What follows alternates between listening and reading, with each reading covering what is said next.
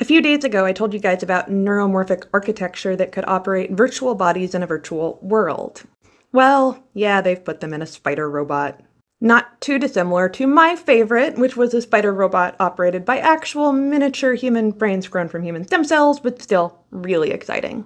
While growing actual human brains has been a solution for operating in a three dimensional space, because AI just doesn't do a very good job of operating in three dimensions, it also doesn't do a particularly good job of operating a three dimensional body because that requires nonlinear thought. When we're talking about linear thought, we're talking about A to B to C. When we're talking about nonlinear, we're talking about having to take ideas from different areas and combining them in new ways. AI simply can't do it, but human brains can do it. Or neuromorphic architecture that mimics the spiking actions in our own brains. This is taking the idea of AI, which we already try to make look similar to human brain architecture and actually using the spiking potential, virtual spikes that we would see across our own neurons, and that includes some degree of randomness.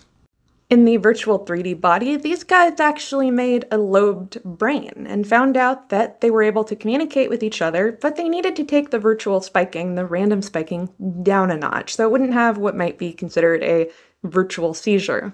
What they found when placing the architecture of a virtual brain into a real body, it was able to navigate through a three dimensional space. That's what it's actually going to look like to our spider drone. Oh, and you may ask, why a spider? Why are we putting everything in a spider? It's because all roads lead to crab. You may not know that because it's a zoology joke that everything eventually evolves to look like a crab. It's just a really good body plan.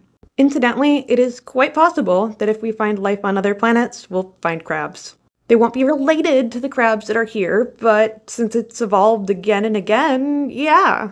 I don't love crabs, namely because I'm allergic to them, but I respect them. It's also going to be less likely to just fall over like a lot of the humanoid bots we see. You may wonder how are they actually recording information? Well, that's a concept called a memristor when it comes to technology. It remembers that the spiking potential was there and stores that action potential between the virtual neurons. Essentially, it remembers that the neuron fired, so the next time it fires, it's going to be quicker.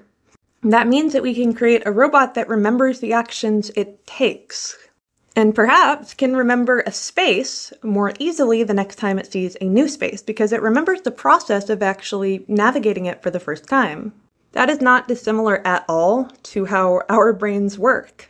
It's going to be similar for robots when it comes to navigating, but it's also going to be similar for different tasks, including operating a body. I could see this applied where you take the program that was developed in one body and then place it in another, and it'll probably learn it a little bit faster, but that is yet to be seen. Now, you may wonder what is the application of this kind of technology? How is it useful? You may wonder, what is the application of this? Well, a lot of the robots that we have are extremely power hungry. In order to get them to work, especially when they are tiny robots, they're going to need a more efficient system. The processing for this is a whole lot cheaper and more effective than trying to use our traditional AI models to do so. What I think this could be applied to are going to be the beta voltaic cells.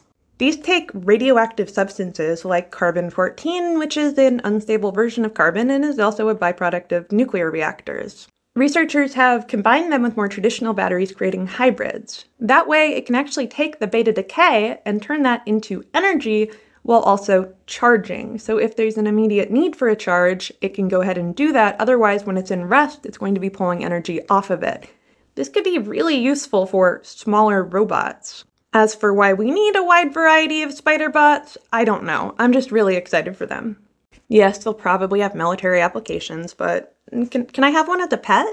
One that I don't have to feed a glucose drip and keep alive? Because this, this seems awesome.